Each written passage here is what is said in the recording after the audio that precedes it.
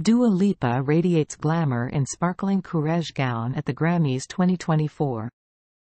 Dua Lipa, once again, graced the Grammys red carpet with her impeccable style, dazzling in a silver-embellished gown by Courrèges.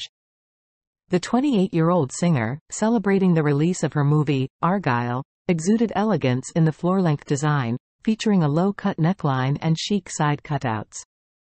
Styled by Lorenzo Posocco, Lipa accessorized her ensemble with statement jewelry from Tiffany & Co.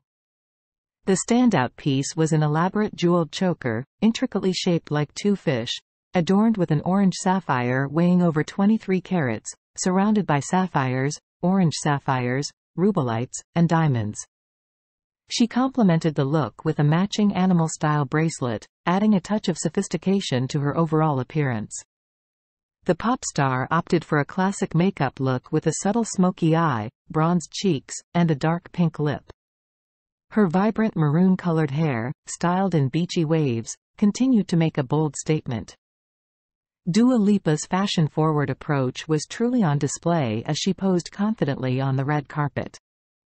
Taking her dad, Dukagjin Lipa, as her date, the singer brought her a game to the Grammys, where her hit, Dance the Night, from the Barbie movie earned nominations for Song of the Year and Best Song Written for Visual Media.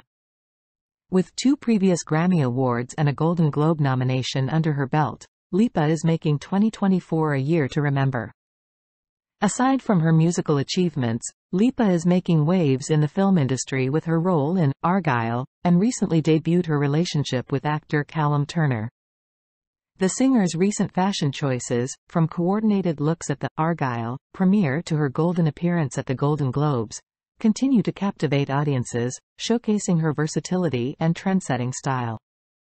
As Dua Lipa continues to command attention both musically and on the red carpet, her glamorous presence at the Grammys 2024 adds another chapter to her remarkable year. Thank you for watching. We appreciate your support and hope you enjoyed the video. Don't forget to subscribe to our channel to stay updated with new content.